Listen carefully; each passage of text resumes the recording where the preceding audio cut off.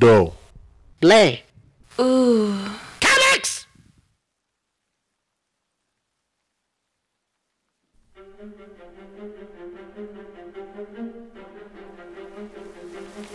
Humanitarian work.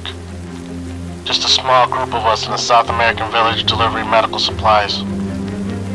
My fiance and I got separated from our group and caught in a downpour. We figured it was all worth it, knowing our efforts here would be changing the lives of others. Little did we know, it would be our lives that would be making the change. Life as we knew it would never be